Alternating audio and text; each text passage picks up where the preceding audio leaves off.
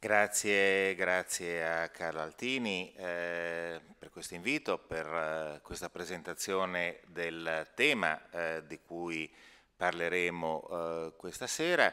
Eh, grazie soprattutto a Carlo perché eh, ci ha già condotto in medias res.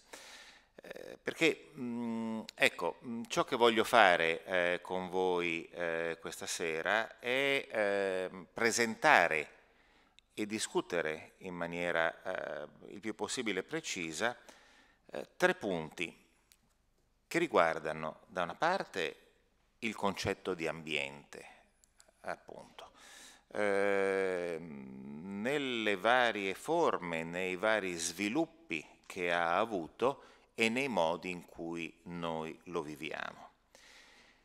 E dall'altra parte, ecco, eh, quello che voglio fare è proprio approfondire da un punto di vista etico questa nostra relazione con un ambiente che si è così eh, ampliato per quanto riguarda i suoi significati, le possibilità di esperienza che noi abbiamo eh, eh, da, da, fare eh, al suo interno. Eh, oggi, infatti, il termine ambiente eh, conosce un allargamento rispetto agli usi che aveva eh, nel passato. Eh, lo sappiamo, lo ha appena detto Carlo, si parlava di ambiente unicamente per un verso riferendosi all'ambiente naturale, alla natura eh, e per altro verso all'ambiente culturale prodotto dagli esseri umani. Oggi no, oggi abbiamo anche e forse soprattutto la presenza, la sovrapposizione, la modificazione di questi ambienti eh, grazie, di questi ultimi di cui ho parlato, naturale e ehm, culturale, grazie alla eh, e allo sviluppo di un ambiente inteso in termini propriamente artificiali. Artificiale cosa vuol dire? Eh, vuol dire un ambiente che non è solamente costruito da noi, ma, questo è il punto, un ambiente che possiede in molti casi un certo grado di autonomia in quanto è reso possibile dalla attività di agenti non umani, cioè da una azione, da un agire che non è prodotto da noi. Questa è la novità. Esistono dispositivi, esistono apparati che agiscono e che agiscono oggi con una certa autonomia. Sono ad esempio ed è questo l'esempio su cui mi soffermerò, eh, gli apparati relativi alle tecnologie della informazione e della comunicazione. Eh, ICT eh, per l'acronimo inglese, in italiano eh, dovremmo dire eh, TCI o TIC, e questo insomma ha un altro eh, senso eh, che fa magari più sorridere, però il problema appunto è eh, serio. Eh, il problema è serio perché noi dobbiamo fare i conti con questa situazione. E lo dico subito, né demonizzarla né eh, appiattirci su di essa. Sono entrambe tentazioni troppo facili, eh, appiattirci su di essa. Eh, il linguaggio di queste tecnologie dell'informazione e della comunicazione parla molto spesso di piattaforme.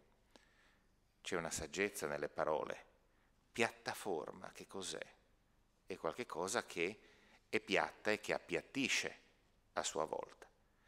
Eh, rendiamoci conto di questo rischio, cioè di questo eh, rischio di un assorbimento che i picchi, la molteplicità, le diversità della capacità creativa dell'essere umano, rischiano appunto di essere appiattiti ad un'unica dimensione. Marcuse parlava dell'uomo ad una dimensione qualche decennio fa.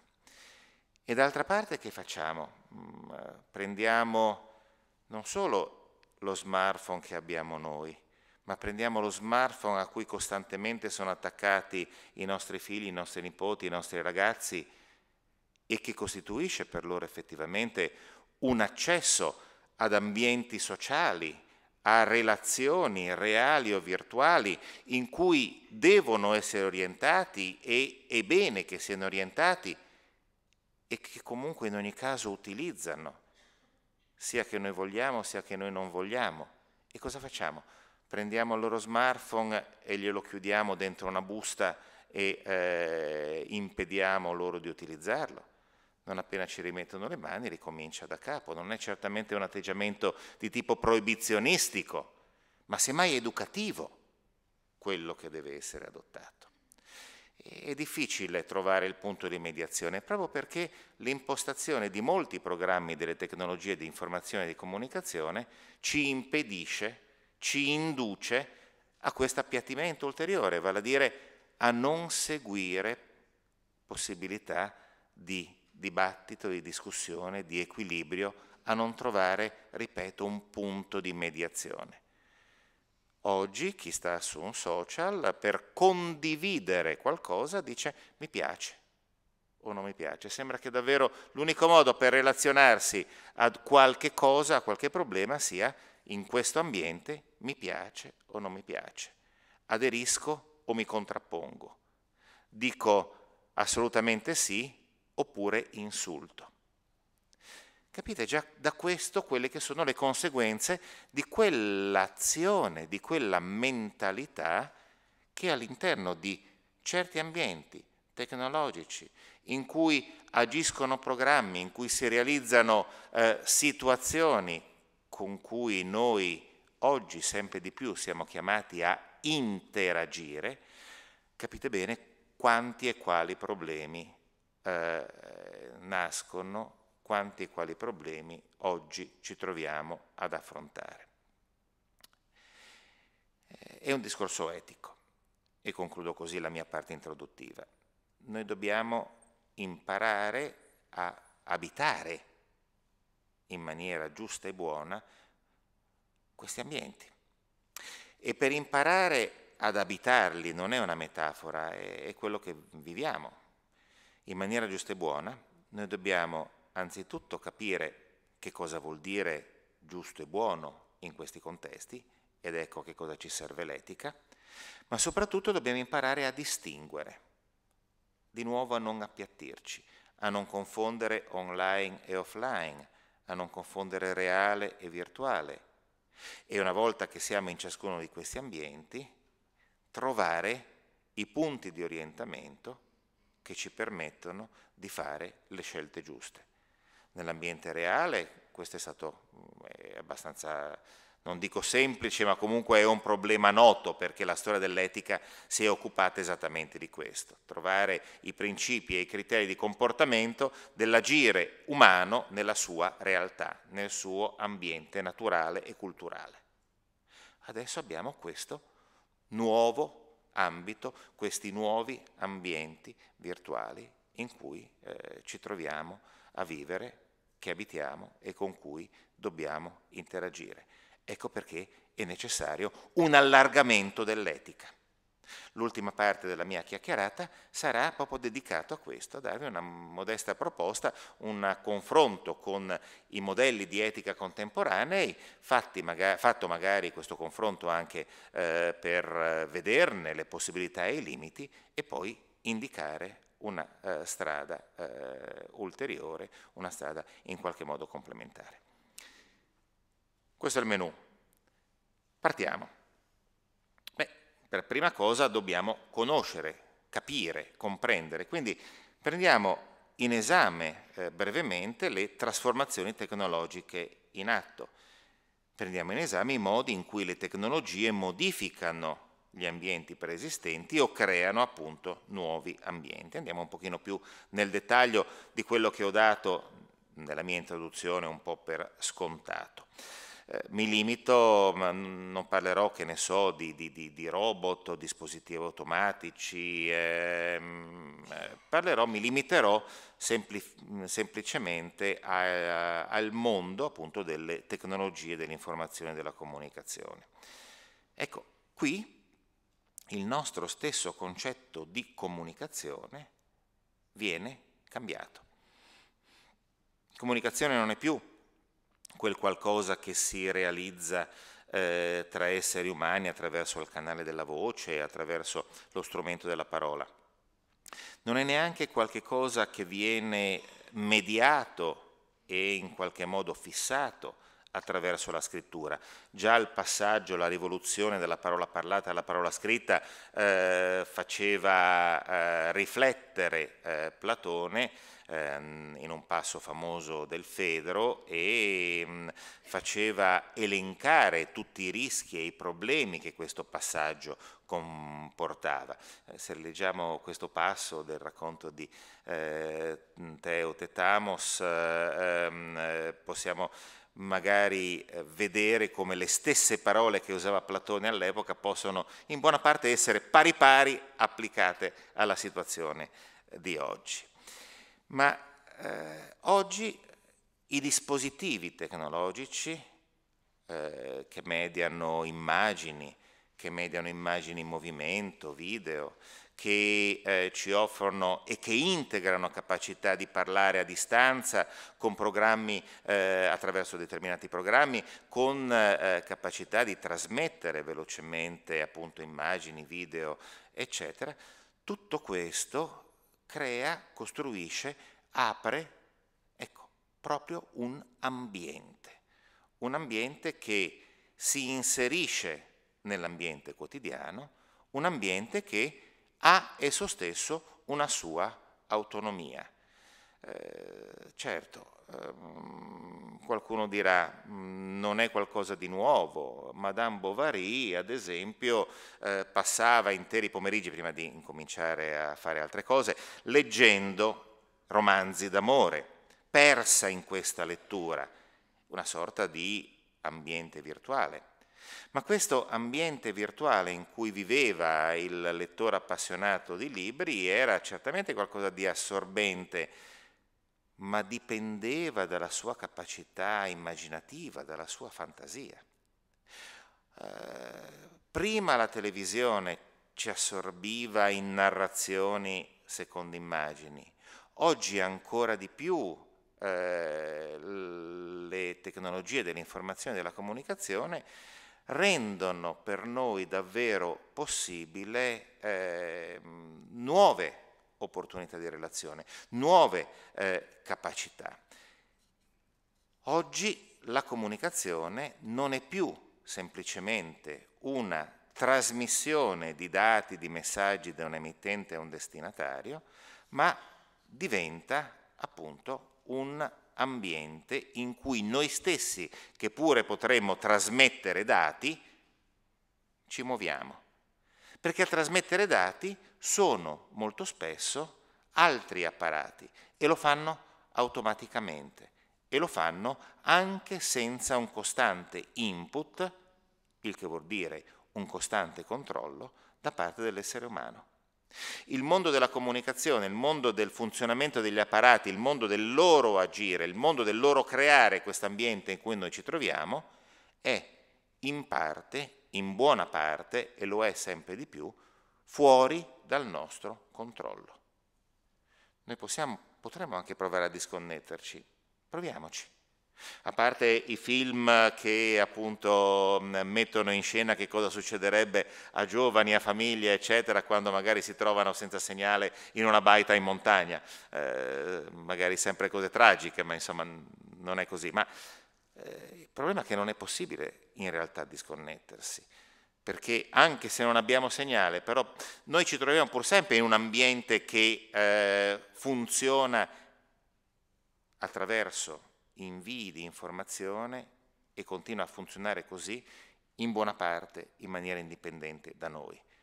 Se io non ho, ad esempio, eh, più carica nella batteria del mio cellulare, eh, però sto viaggiando in autostrada, dico vabbè non è che sono isolato perché sono chiuso eh, dentro la mia macchina, eh, magari venendo da Milano a Modena eh, mi prendo una bella multa perché il sistema tutor, che funziona esattamente con una trasmissione di dati e di informazioni, rileva che io sto superando i limiti di velocità, indipendentemente da quello che io eh, voglio o non voglio fare. Se io voglio certamente correre per non arrivare in ritardo a Modena, ma eh, la, la rilevazione della velocità e tutto il resto non dipende da me. Questo è ciò che ci fa paura, questo è ciò che ci inquieta. Il fatto che non abbiamo più pienamente il controllo di questi apparati, di questi strumenti, cioè il fatto che questi strumenti non sono più strumenti, sono di nuovo un ambiente. Questa è la differenza sostanziale, adesso esagero un po' nel, per, per, mettervi le cose eh, schematicamente di fronte, ma questa è la differenza sostanziale tra tecnica e tecnologia. Con ciò che viene detto con queste due parole, tecnica e tecnologia. Eh, purtroppo lo so, ci sono tanti filosofi che continuano a confondere questi, eh, questi termini, ma sono due cose diverse. La tecnica che cos'è? La tecnica è il prolungamento dell'agire umano, la facilitazione, il potenziamento dell'agire umano. Un esempio per eh, tutti, eh, non lo so, io non riesco a raggiungere con il mio braccio eh, quel eh, bicchiere eh, d'acqua e allora magari eh, prendo un bastone e cerco di, di, di portarmelo vicino. Ehm, l'essere umano è fatto così, cioè si inventa degli strumenti tecnici. Eh, se c'è un frutto in cima all'albero che io non riesco a raggiungere né arrampicandomi né con la mano, beh, a differenza della giraffa che ha il collo lungo e attraverso l'evoluzione ha elaborato questa, ha reso possibile eh, questa sua capacità, questa sua attitudine, a differenza della giraffa io artificialmente prendo un bastone e eh, faccio in modo di raggiungere appunto questo, ehm, eh, questo frutto.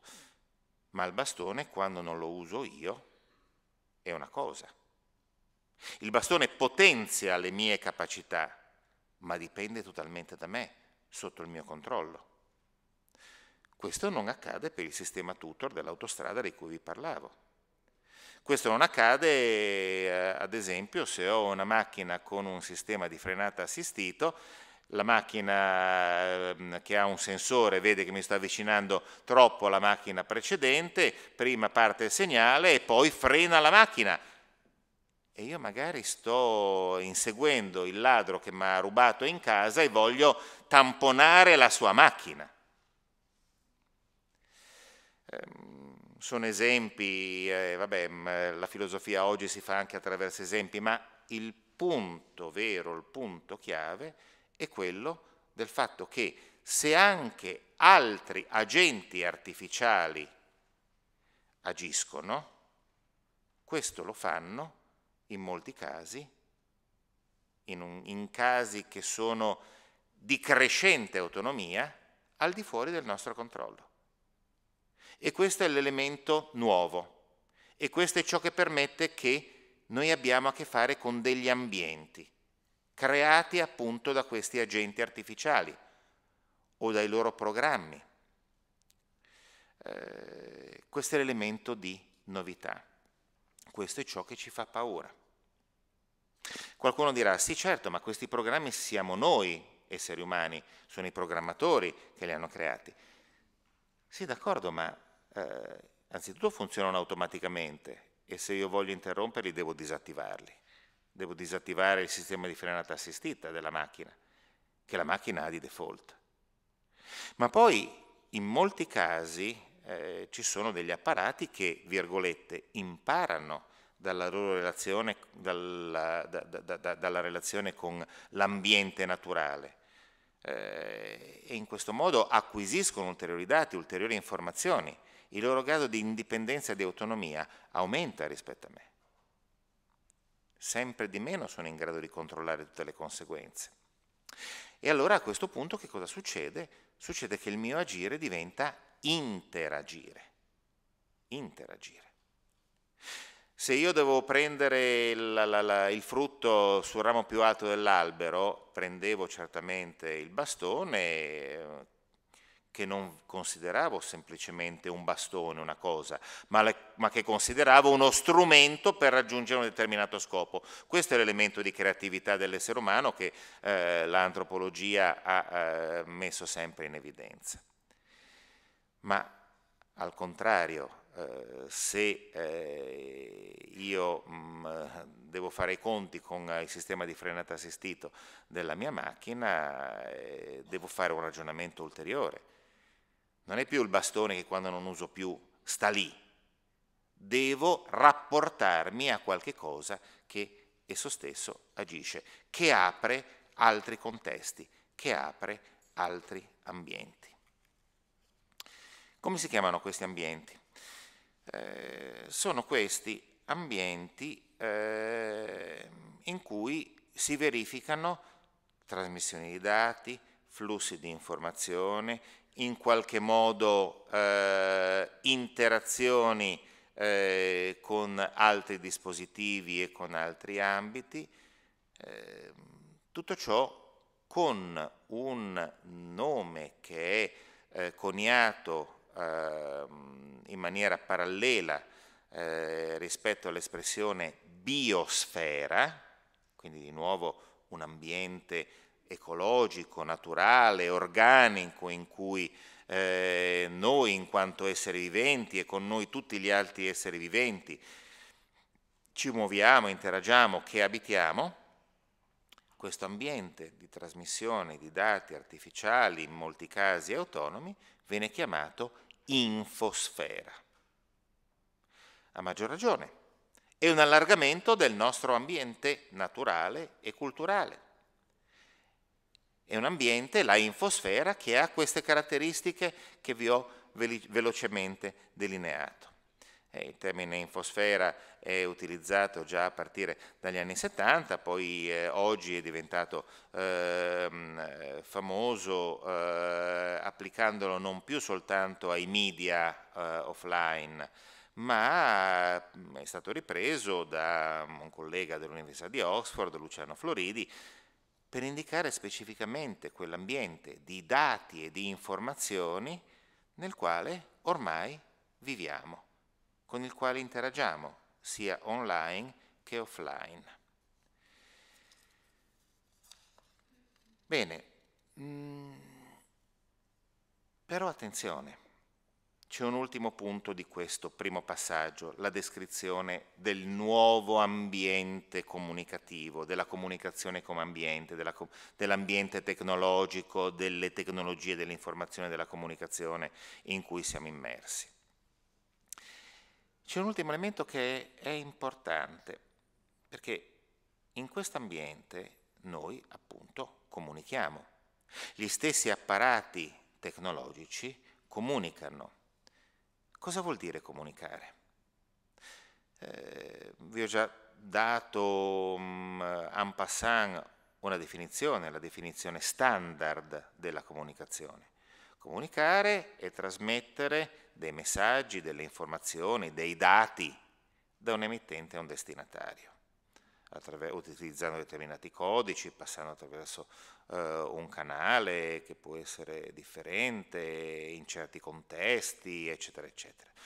Comunicare è trasmettere dati comunque, mh, mm, eh, sostanzialmente. E oggi vediamo che i dispositivi della comunicazione funzionano in questo modo, trasmettono dati, ne trasmettono tanti, li trasmettono velocemente, li trasmettono immediatamente, in tempo reale, ci costringono a essere altrettanto veloci eh, come loro, con tutta una serie di problemi, eh, ad esempio il fatto che la verifica di queste informazioni, eh, se arrivano sempre nuovi dati, diventa eh, sempre più difficile, sempre più complessa. È uno dei motivi per cui oggi sorge e diventa un vero problema quello delle fake news, delle notizie eh, fasulle, delle notizie non vere, perché non abbiamo più il tempo o non si ritiene più che sia necessario eh, spendere il proprio tempo per fare delle verifiche. Però, appunto, Viviamo, possiamo immaginare questo, questo uh, mondo di trasmissione di, di, dati, come se questi dati fossero appunto delle linee, delle frecce, e noi siamo al centro di queste frecce. È un po' l'immagine della rete che noi abbiamo, l'immagine della rete con tanti eh, nodi, un'immagine a cui ormai eh, ci siamo abituati, che non è solo una metafora, ma è appunto in qualche modo la realizzazione, la concretizzazione di come funziona la comunicazione oggi. Ma qual è il risultato di questo? Questo è una domanda importante che noi ci dobbiamo fare e che dobbiamo tenere presente eh, per quanto riguarda la risposta. Qual è il risultato? Siamo anche noi semplicemente dei dati o siamo degli emittenti o siamo semplicemente dei riceventi? Siamo cioè qualcosa che necessariamente fa parte di questa rete, di questo ambiente di trasmissioni, di frecce che vanno avanti e indietro? Siamo questo? Ci appiattiamo sulla piattaforma? O anche attraverso questo, attraverso questa trasmissione, viene veicolato qualcosa di più, viene creato qualcosa di più, viene creata, viene reso possibile un incontro, più in generale e più estesamente viene creata una comunità o vengono creati dei gruppi, determinate comunità, o addirittura si apre uno spazio di interazione per noi, uno spazio comune. Ma forse la parola comunicazione non riporta esattamente a questo significato nella sua etimologia in tutte le lingue neolatine, comunicazione, comunicazione, communication, eccetera. C'è questa radice communis, qualcosa di comune. Comunicare è creare uno spazio comune. Comunicare è compartecipare. Comunicare è appunto dare qualche cosa, cum munus, donare qualche cosa e ricevere qualcosa che ci viene in dono dall'altro. Questo è il sovrappiù rispetto alla pure semplice trasmissione. Questo è ciò grazie a cui è possibile davvero un ambiente. Un ambiente è quello in cui non semplicemente ci sono eh, i perimetri, gli spazi ben misurati, quantitativamente definiti. L'ambiente è un ambiente di vita. Solo per questo, solo perché attraverso queste modalità di trasmissione si crea un ambiente di vita, c'è un qualche cosa di sovrappiù, noi possiamo abitare questo ambiente possiamo interagire, possiamo vivere, possiamo viverlo, possiamo anche farlo come, eh, considerarlo come un elemento, come un uh, aspetto che ci permette di interagire fra di noi, possiamo utilizzarlo. Ecco, mh, mm, ho parlato fin qui di ambiente comunicativo. Eh, ho usato il singolare, forse qualcuno di voi direbbe ma in realtà non è mica giusto, perché non c'è soltanto un ambiente comunicativo. Noi non ci muoviamo affatto in un ambiente solo e soltanto. E la nostra epoca è caratterizzata non soltanto dal fatto che la comunicazione tecnologica crea ambienti, eh, non soltanto dal fatto che, come ho appena detto, questi ambienti non sono soltanto la, la realizzazione di trasmissioni, ma veicolano qualche cosa di più, qualche cosa che ci fa bene, che ci permette di, di starci bene e quindi di utilizzarli anche a fine di bene o a fine di male. Ma oggi viviamo in una pluralità di ambienti comunicativi più in generale in una pluralità di ambienti. Ed è questo il punto, ed è questo il problema. Dobbiamo imparare a vivere in ciascuno di essi in maniera corretta, giusta e buona e a passare dall'uno all'altro in maniera giusta e buona. Adesso stiamo vivendo in questo magnifico ambiente che è eh, la sala delle conferenze della Fondazione San Carlo. Eh, però eh, stiamo conducendo un'esperienza di un certo tipo, un'esperienza faccia a faccia.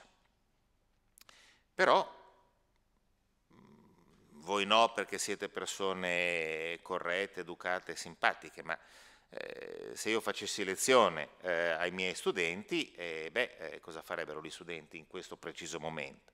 Avrebbero il loro smartphone davanti e starebbero facendo anche altre cose, più o meno mm, diciamo, corrispondenti, più o meno complementari a quello che sto facendo io se io parlo, eh, vi, vi, ho dato una serie di, di informazioni, di notizie, eh, eccetera, vi ho detto che l'ambiente infosfera, che il termine infosfera, ad esempio, è stato utilizzato per la prima volta eh, all'inizio degli anni 70 riguardo ai media eh, offline. Bene, un bravo studente cosa farebbe? Andrebbe a verificare eh, questa cosa, questa notizia, in tempo reale potrebbe benissimo farlo e potrebbe anche dire no professore guardi in realtà eh, eh, non è all'inizio degli anni 70 ma alla fine degli anni 60 ho parlato di Luciano Floridi. Uno potrebbe dire ah sì benissimo ma prima di Floridi ne aveva parlato questa cosa eh, di questo termine in un altro, un altro autore. Eh, sarebbe l'esempio del vivere direi in maniera ampliata, aumentata, corretta, eh, un ambiente formativo, dilatato, vivendo però in realtà diverse. Reale, l'incontro faccia a faccia, e virtuale, le informazioni che possono venire da una qualche enciclopedia online o da, qualche, o da quello che ci viene offerto eh, dal web. Magari nel frattempo cosa succede sempre al nostro studente? Arriva eh, una notifica, un messaggio WhatsApp, eh, oppure la notifica che um, eh, un amico ha postato qualcosa su Facebook. E allora cosa farebbe scorrettamente il mio studente? Scorrettamente? Risponderebbe? Andrebbe a vedere? Su, eh, la tentazione è forte, la tentazione è fortissima. Però vedete, altro ambiente, un ambiente di relazioni con eh, determinati amici, con il suo gruppo Facebook, con eh, il suo gruppo WhatsApp, che magari non c'entra niente con quello che sta avvenendo realmente in quel momento, la, la lezione a cui sa, sta assistendo. E dunque l'accesso a quell'ambiente sarebbe non complementare, ma alternativo, in qualche modo disturbante, rispetto a quello che lui sta facendo nell'ambiente reale, nell'ambiente culturale in cui in quel momento sta vivendo.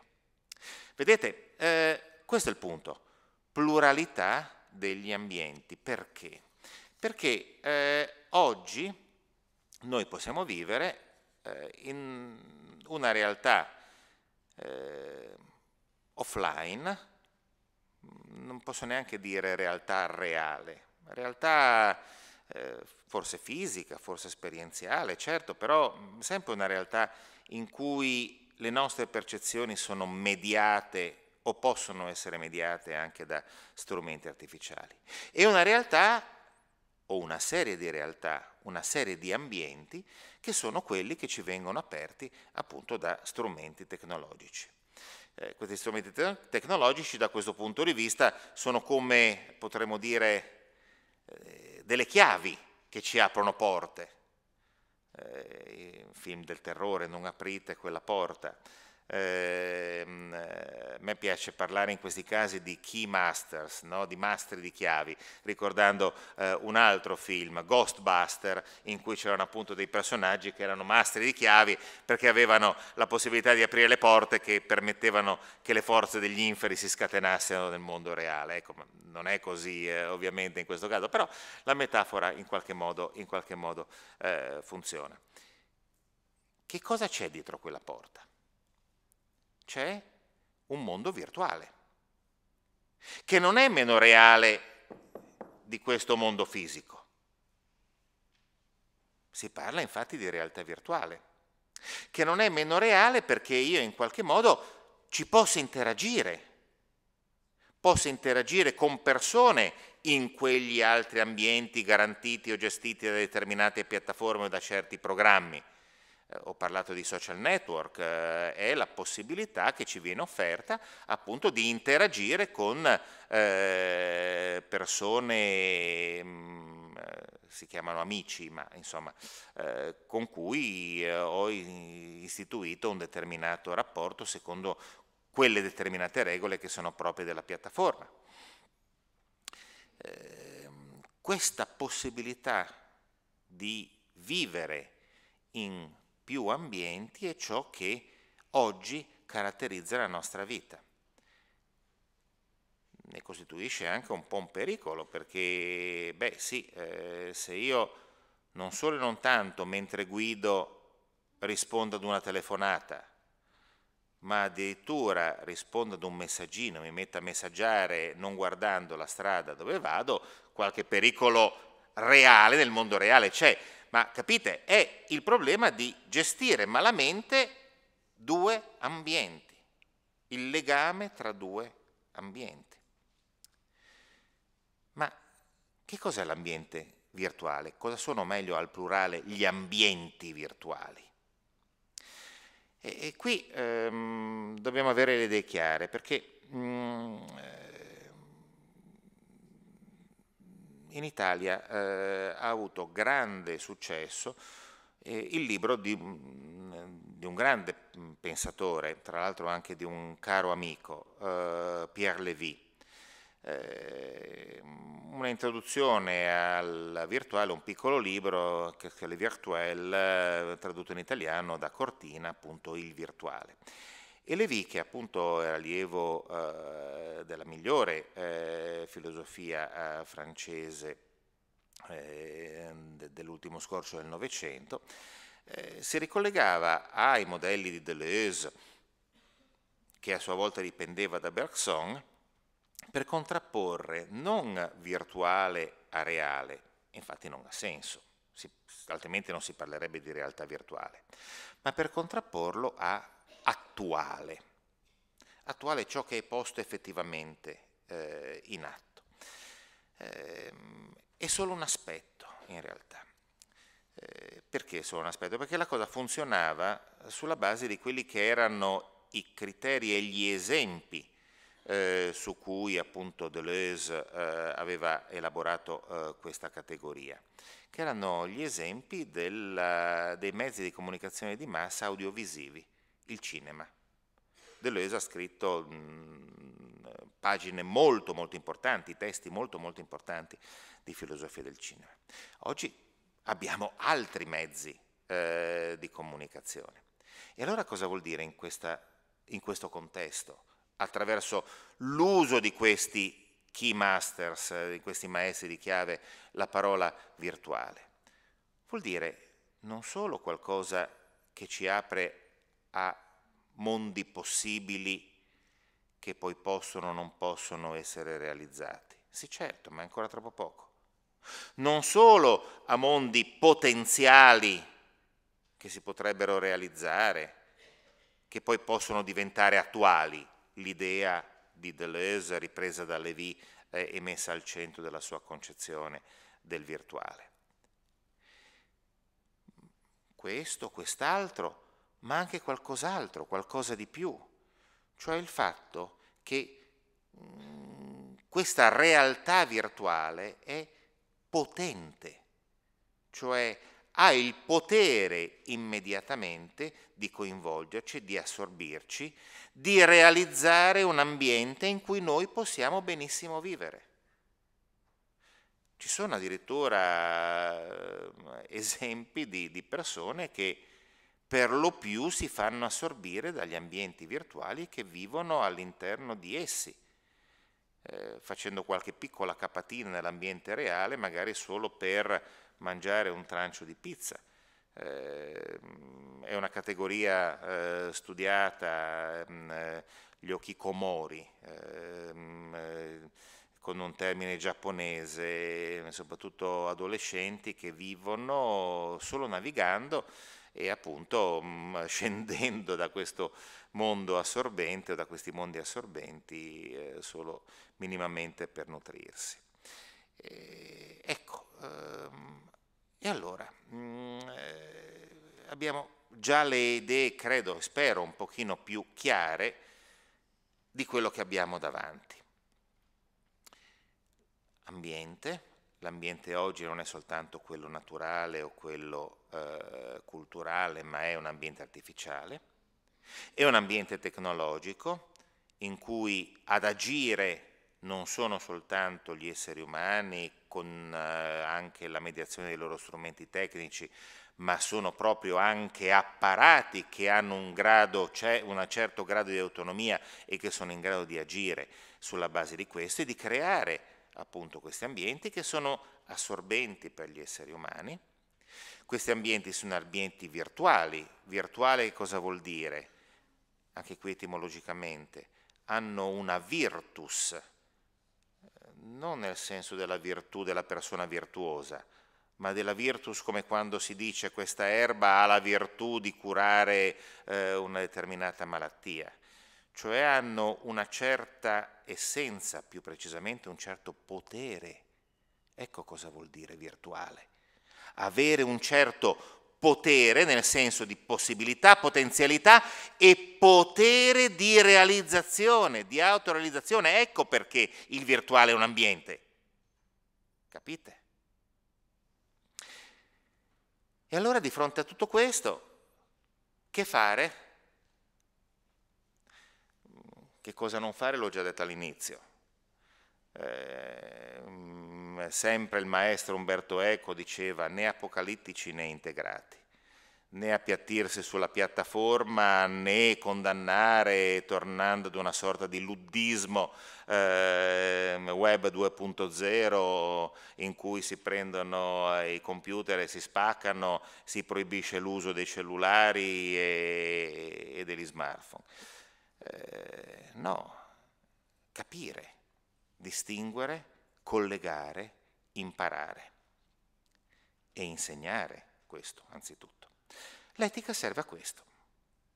Eh, l'etica, l'etica delle tecnologie dell'informazione e della comunicazione è esattamente ciò che mm, ci dovrebbe aiutare, eh, ci dovrebbe consentire mm, un giusto, corretto, buon eh, vivere in questi diversi ambienti.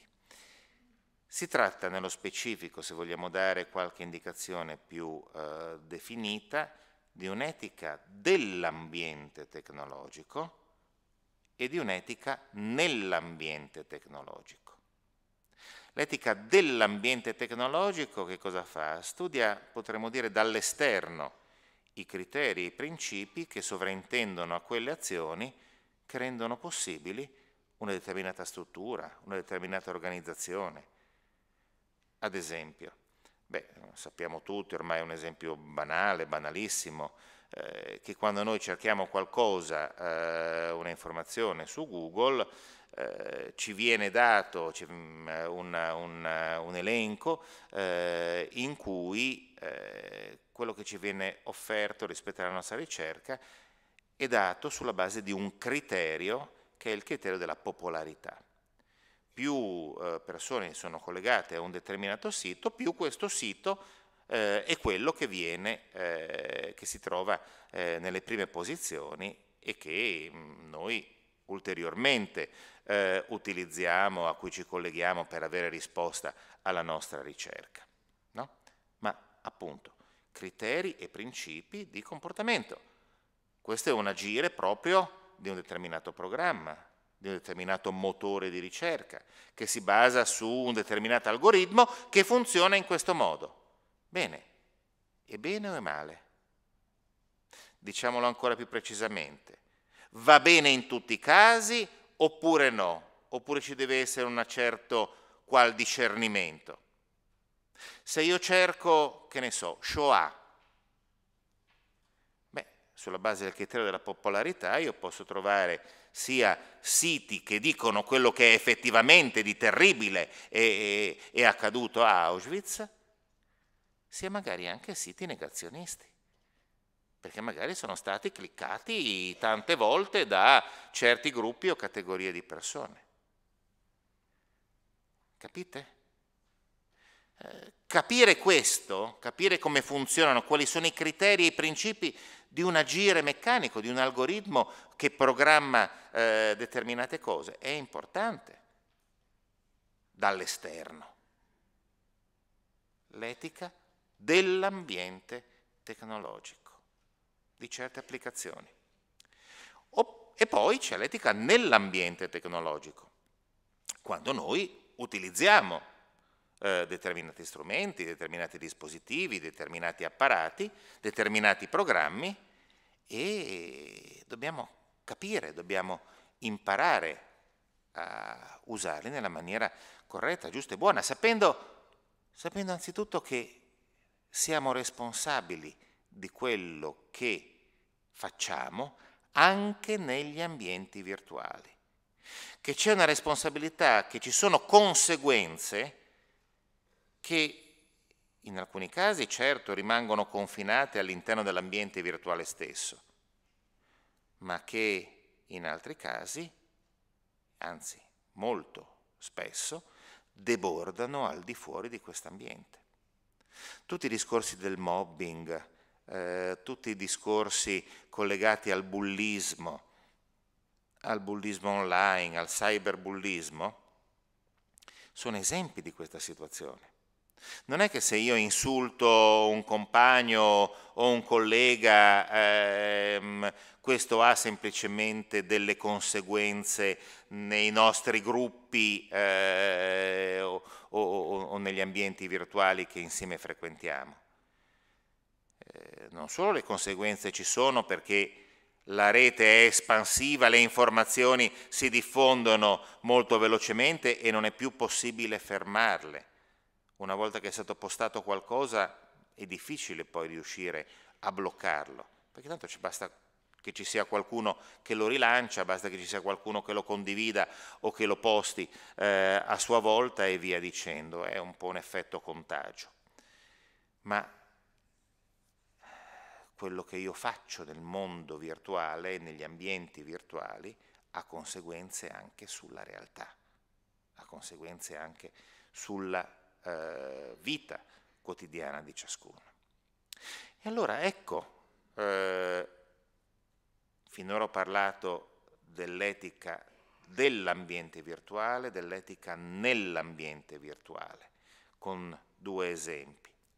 Ma il problema vero dell'etica oggi, di un'etica delle e nelle nuove tecnologie, è anche quello di gestire il rapporto tra online e offline, cioè di gestire il rapporto tra gli ambienti virtuali e l'ambiente quotidiano, offline, naturale, culturale, in cui io costantemente mi muovo. Eh, io posso muovermi, è proprio dell'essere umano. L'essere umano è un essere culturale perché può appunto muoversi tra vari ambienti. Eh, ma anche qui, questo muoversi deve essere fatta in maniera corretta, in maniera giusta, in maniera adeguata. Eh, quali criteri usare per muovermi appunto tra questi ambienti, all'interno di ciascun ambiente, rispetto a questi diversi ambienti? Questa domanda, e mi avvio alla conclusione, è una domanda inedita. È una domanda nuova. È una sfida nuova all'etica che ci viene proprio da queste nuove situazioni. Perché? Beh, perché tutta la storia della riflessione eh, sui nostri comportamenti, sul nostro ethos, da Aristotele, che appunto conia eh, il nome della disciplina che studia i costumi, gli usi, i comportamenti degli esseri umani, individuali o collettivi, fino a, diciamo, alla metà del Novecento, tutta l'etica si è occupata dell'agire umano, dell'agire umano. E quindi i modelli, i criteri, i principi per orientare, guidare, dare indicazioni relative a questo agire sono criteri limitati all'agire umano. E quali sono questi modelli? Beh, ehm, c'è il modello che si rifà eh, all'idea un po' sostanzialmente della natura, della natura dell'essere umano. Eh, del, Aristotele faceva riferimento all'anima, eh, alle varie parti dell'anima e quindi il giusto buon comportamento era quello che si ritrovava nel corretto equilibrio tra le varie parti dell'anima. E questo corretto equilibrio era ciò che bisognava perseguire, non la ricchezza, non gli onori, non eh, i piaceri, ma la eudaimonia, cioè appunto la, tradotto in italiano con felicità, non sempre funziona questo termine, l'equilibrio eh, tra le varie parti dell'essere umano, eh, la parte razionale, la parte appetitiva, la parte desiderativa, e l'equilibrio dell'essere umano nel mondo attraverso le sue azioni. Questo è naturale. Bene, ma in un mondo in cui gli agenti artificiali sono quelli che agiscono e quelli con cui noi stiamo interagendo, cosa ci può essere d'aiuto? Fino a che punto ci può essere d'aiuto un modello come quello aristotelico, capite? E allora eh, va bene, eh, altro modello è quello relativo all'utile, eh, o meglio, più precisamente, più in generale, un altro modello di etica elaborato mm, eh, a partire soprattutto dall'età moderna è un uh, modello di etica conseguenzialista questo modello conseguenzialista ha varie articolazioni, ma l'idea di fondo è questa. Per agire bene dobbiamo tenere conto delle conseguenze. Quindi prevediamo le nostre conseguenze, le conseguenze delle nostre azioni, eh, e quindi poi le decisioni, prendiamo le decisioni in merito. Eh, se io so che eh, se uccido Carlo in questo momento tirando fuori la pistola 44 Pimagnum che ho nel, nella tasca, eh, poi eh, vengo arrestato e condannato all'ergastolo, dico beh no, forse è meglio eh, non, eh, non fare questo passo. E beh, però qual è il presupposto di una teoria conseguenzialista nell'etica? Il fatto che io sia in grado effettivamente di controllare tutte le conseguenze, di anticiparle, di prevederle. Ma se non sono più io soltanto l'agente, se ci sono altri agenti artificiali che in qualche modo concorrono alla determinazione delle conseguenze, come faccio io a prevedere tutto questo? Le conseguenze fino in fondo. Capite? Quindi anche qui, anche questo modello che pure ha funzionato e, e che molti continuano a riproporre anche oggi, in un'epoca in cui le tecnologie appunto sono agenti, sono, eh, dispositivi, promuovono dispositivi artificiali, eh, è un modello che, che ha i suoi problemi. E allora ultimo modello eh, storico mm, eh, importante è il modello del dovere, il modello deontologico. Se io non sono in grado di determinare le conseguenze della mia azione, allora sono magari in grado di determinare quelli che sono i principi della mia intenzione, regolati attraverso un dovere, una coscienza, un qualche cosa che mi dice devi fare questo o che mi dice, come nel caso addirittura di Socrate, non fare questo. Eh, la deontologia di Kant, la deontologia di tanti autori eh, che dicono io non posso agire altrimenti perché devo fare così.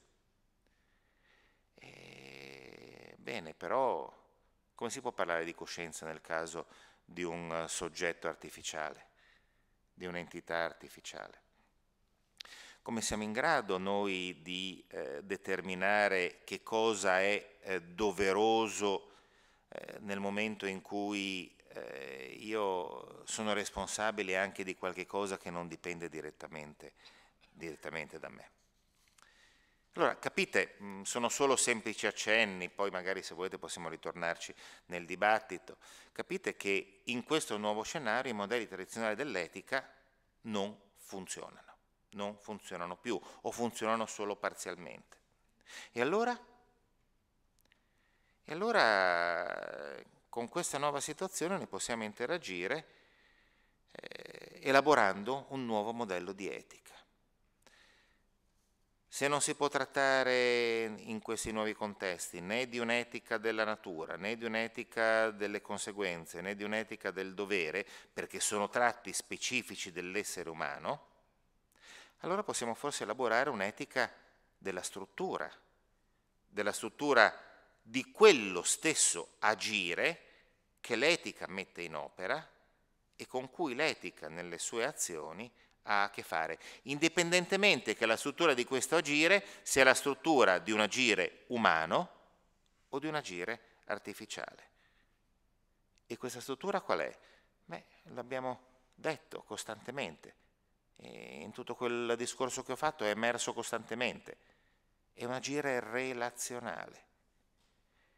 E le relazioni di ciascuno di noi con altri esseri umani o con entità artificiali in un ambiente naturale, in un ambiente culturale e la interazione o interrelazione in un ambiente artificiale con altre entità artificiali. È la relazione che io devo, che è necessario che io instauri in maniera corretta, giusta, buona, tra i diversi ambienti in cui io mi trovo oggi a vivere, nella pluralità e nella molteplicità degli ambienti. Io vivo in costantemente in una situazione relazionale. A maggior ragione oggi, nell'epoca tecnologica, a maggior ragione oggi nell'epoca delle comunicazioni. E allora, se questo è vero, l'etica che noi dobbiamo pensare è un'etica delle relazioni. E questo ciò che eh, abbiamo di fronte, questo è ciò che noi pratichiamo. E qual è il criterio di questa etica delle relazioni? Perché Fin qui ho descritto il nuovo scenario, ma non ho detto che cosa è bene fare o che cosa non è bene fare. Su questo ho una proposta che possiamo naturalmente discutere. Questo criterio è un criterio mm, semplice, che noi possiamo assolutamente ricavare dalle, eh, dalla struttura delle relazioni stesse, dal modo in cui le relazioni stesse funzionano, sia, ripeto, di agenti naturali agenti umani, sia di agenti artificiali. Quando una relazione è buona? È buona una relazione che appunto crea, sviluppa, genera altre relazioni. È cattiva una relazione che a un certo momento blocca, impedisce impedisce a ciascuno di, di, esprimersi, di creare, di diffondere, di espandersi secondo nuove relazioni. E allora possiamo dare il criterio di un agire buono, un criterio che ci permette di riconoscere quando noi agiamo bene, ma anche quando una entità artificiale, un dispositivo, una macchina agisce bene. E questo criterio dice agisci in modo da promuovere relazioni sempre nuove, più ampie, agisci in modo da estenderle queste relazioni piuttosto che bloccarle.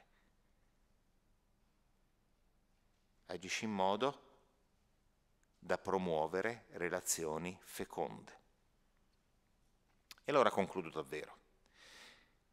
Il principio per le nostre scelte in questo mondo reale e virtuale in cui siamo cittadini di più ambienti, il principio della nostra scelta è chiaro non solo all'interno di ciascun ambiente naturale o artificiale che sia, ma anche tra questi diversi ambienti. È un criterio che è legato alla struttura delle relazioni, una struttura che collega gli esseri umani fra loro, le entità artificiali fra di loro e con gli esseri umani. È un criterio che si ricollega alla struttura stessa, al principio della relazione se ci pensate bene, è quel principio che anima ogni ambiente, anche la biosfera. È quel principio che anima l'ambiente in cui viviamo, gli ambienti in cui viviamo e che in qualche modo siamo anche chiamati a promuovere, a continuare, ad ampliare, a realizzare. Grazie della vostra attenzione.